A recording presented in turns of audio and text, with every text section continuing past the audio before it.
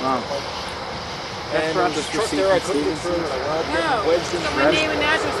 Dread it. Yeah, he went through it. I it. And I got a bill in the mail for 50 bucks for $50.